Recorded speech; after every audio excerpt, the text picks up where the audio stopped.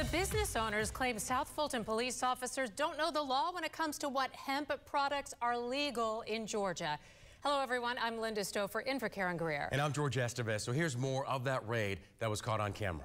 Y'all come out. Come to the door.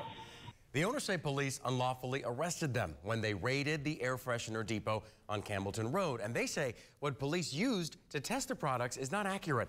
Channel 2's Tyisha Fernandes live now in the city of South Fulton, where a hearing, Tyisha, wrapped up 90 minutes ago.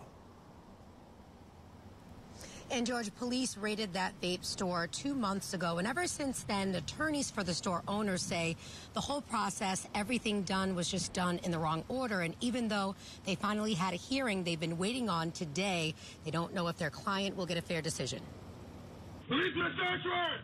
This surveillance video shows South Fulton police raiding a vape store on Campbellton Road back on May 1st. Police arrested the owner and the workers. Was it scary? It was still, still in the trauma right now. Yeah, it's still affecting you all. Oh, yeah. Police say workers sold an undercover officer illegal marijuana twice. Investigators say GBI results haven't come back yet, but they used a different method to test the drugs, and the city quickly revoked their business license before the owner had a chance to defend himself. Even if everything in the store was illegal, they're they're still entitled to due process, and due process requires a hearing and notice of that hearing. And that did not happen in this case. During this hearing Thursday afternoon, attorneys for the store owner presented evidence like their own test results from an independent lab that say the products are legal under Georgia law. They showed photos of other vape shops selling the same products. They showed how one store is right across the street from a police precinct.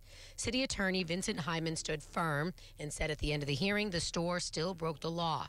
The city manager will render a decision in 10 days. But I think it's noticeable that we're in a conference room with the city manager who works in the same building as the city attorney, who works in the same building as the finance director who revoked the license. So, you know, it, it, it raises questions about whether this is a fair tribunal. Now, the owner and workers are all facing criminal charges, trafficking charges from this raid, and the attorneys believe that whatever the city manager decides in 10 days will impact the criminal cases. We're live in the city of South Fulton. Tyisha Fernandes, Channel 2 Action News. We will see what happens in 10 days. Tyisha, thank you.